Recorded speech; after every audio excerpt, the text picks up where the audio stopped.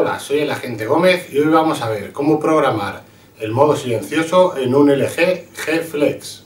Para configurar el modo silencioso entramos en aplicaciones, ajustes y en, la pestaña de sonido vamos a ir a modo silencioso.